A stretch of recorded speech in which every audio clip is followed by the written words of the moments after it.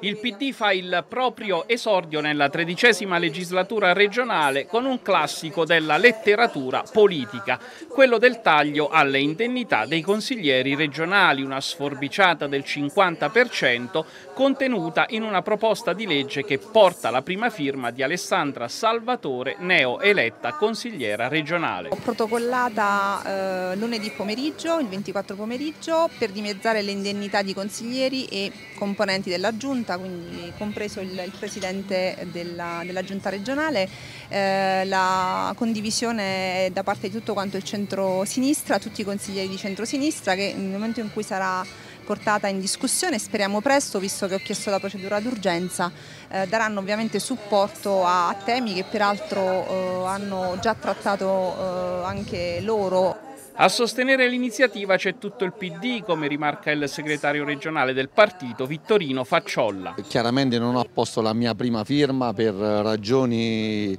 evidenti che erano finalizzate a evitare la strumentalizzazione, perché queste proposte di legge, oltre che essere ancorate ad un contesto sociale economico evidente, rischiano, laddove siano oh, portate in prima istanza da chi ha avuto ruoli politici importanti nel passato, di, essere, di, di passare come strumentali e demagogiche. Siccome invece mi sembra che questa possa essere eh, di tutt'altra fattezza, eh, farla presentare da eh, Alessandra perché ne è l'ideatrice, l'ispiratrice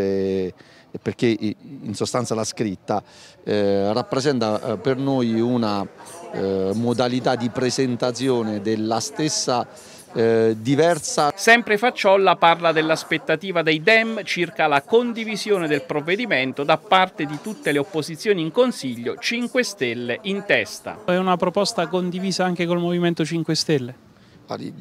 Alessandra so che l'ha girata prima di presentarla su una chat della minoranza che abbiamo, quindi mi sembra che abbia fatto le cose come